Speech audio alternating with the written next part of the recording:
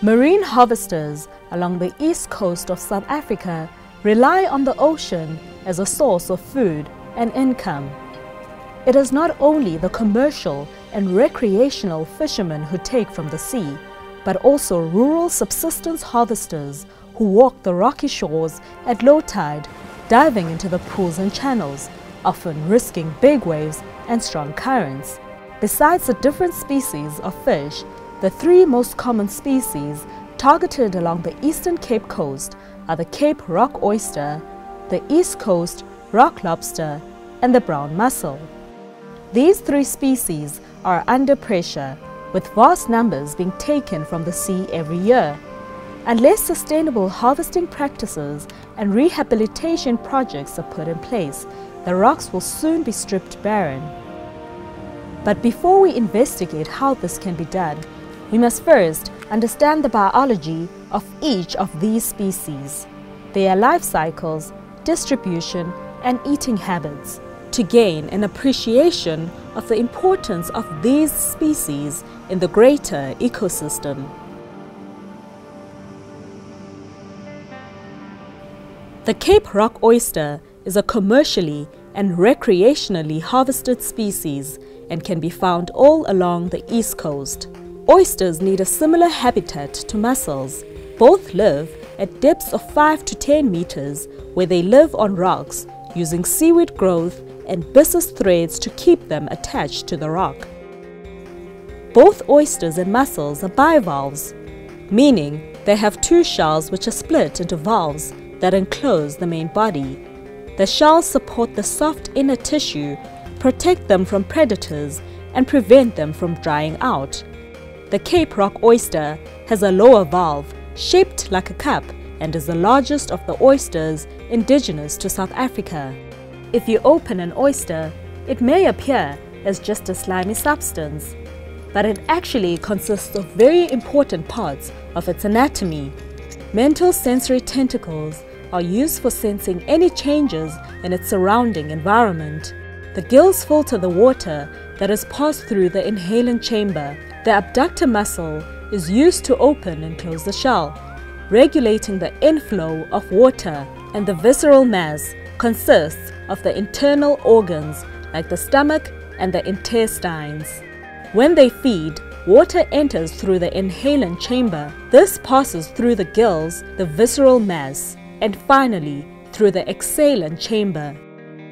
Food is removed from the water as it passes through, which is why they are referred to as filter feeders.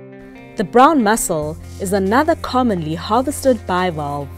They are found in colonies attached to the rocks in the exposed wave crash zone from the mid-intertidal area to a few meters underwater. It is here on the rocks that mussels are able to get food and oxygen from the waves flowing over them. They provide food not only for humans but also for other natural predators like birds and fish, and they help create an environment that is suitable for other species to thrive. For example, the red and green seaweed which grows next to the mussels, which is a rich source of food for alikreukel.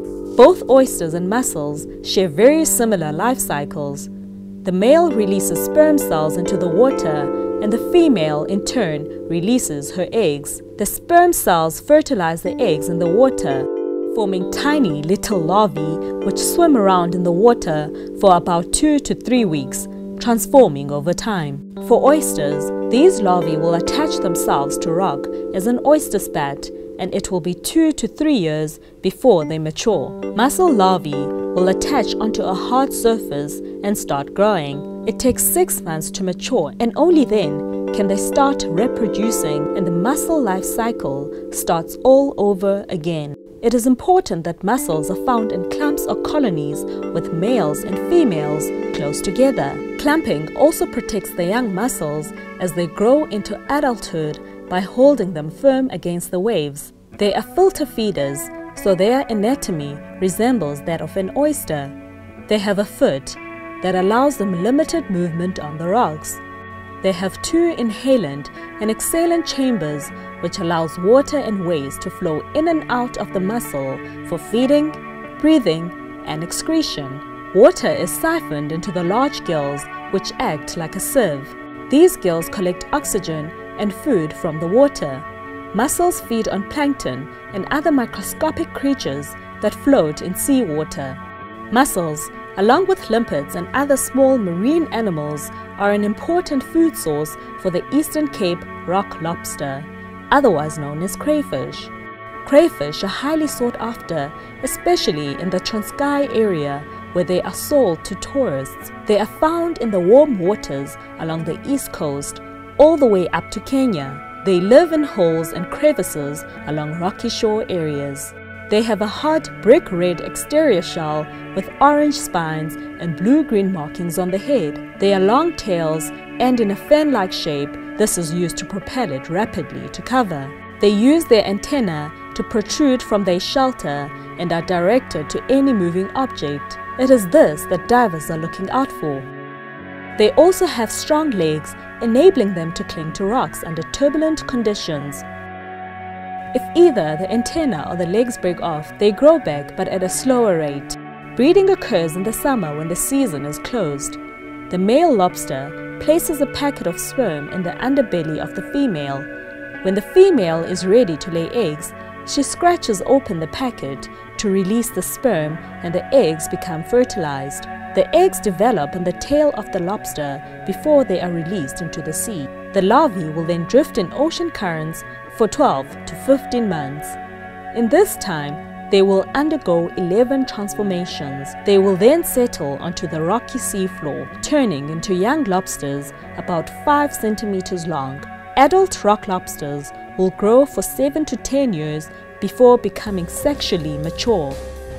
This is why government tries to limit catching to within a specific season to give them a chance to breed.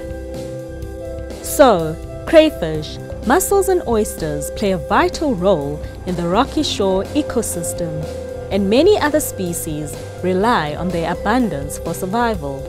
If these three species are to continue to thrive in South African waters, the replenishment of populations are vital. People are taking large numbers out of the sea, and they need to be given a chance to rejuvenate and repopulate. For crayfish, this means there must be no harvesting during the closed season, which is during the summer months from November 1st to end of February. For all three species, it is important that the small ones are left to grow. For mussels and crayfish, there are size and catch limits that must be followed. Anything smaller than 5 centimeters must be left alone. No more than 30 mussels per day per person must be harvested. For crayfish, the carapace, which excludes the tail and antenna, must be longer than 65 millimeters. A maximum of 8 crayfish per day is the legal limit. Proper harvesting practices are also vital. Using large blunt instruments or spades to take mussels will remove everything off the rocks, including both young and old mussels, and other organisms and seaweed. So it is better to use smaller instruments like a screwdriver to be more selective about what is taken off the rocks. Poor harvesting methods have resulted in extensive damage to mussel beds. The rocks are being covered by a mat of coralline algae that supports only small groups of mussels. This makes the need for rehabilitation projects even greater. There are cost-effective ways of doing this, the most prominent using sections of PVC drainage pipe. Small mussels, perhaps the bycatch from harvesting the bigger ones, are placed under the half pipe which is screwed into the rock. An entire rocky outcrop can be used for the project. After a month, the mussels will have secured themselves to the rock, and after a year, they will be ready for harvesting. There are many rocky shores along our east coast that are slowly becoming devoid of all life as the human impact of harvesting becomes too much for the ecosystems to handle. These kinds of rehabilitation projects are the answer to regenerating the rocky shores and supporting the rural communities who rely on marine harvesting for survival we need to have an understanding of the different species and their important roles in the ecosystem, and this together with the knowledge on correct harvesting methods, is the key to protecting our beautiful coastline.